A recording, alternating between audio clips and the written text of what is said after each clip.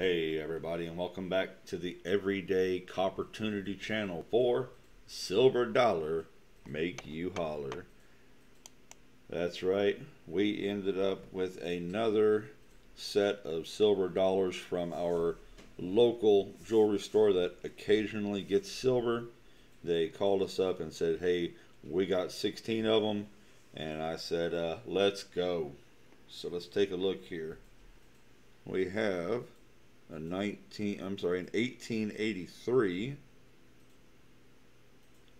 no mint mark that I can see. Let's see. We got an 1878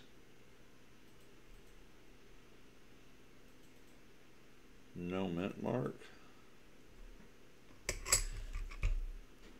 We got a 1921 no mint mark. 1921 no mint mark. Look at that, that's almost a ghost. We got a 1879 out of San Francisco. Got us a 1900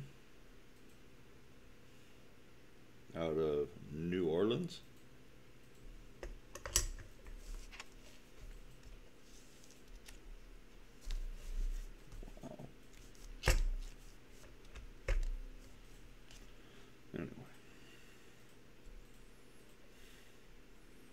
Got a 1921.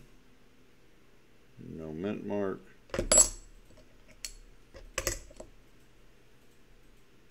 Got a 1921. No mint mark. Got an 1884.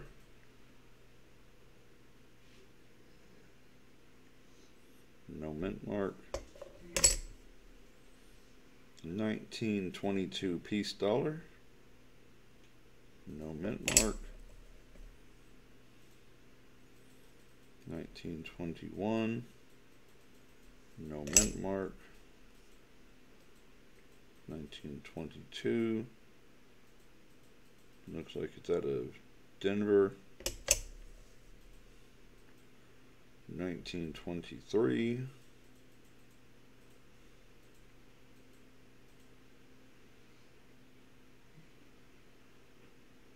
That might be a San Francisco. I'll have to get under a microscope and look at it later on. 1898. No mint mark. 1922. Get the light on it a little better. I think that's a D.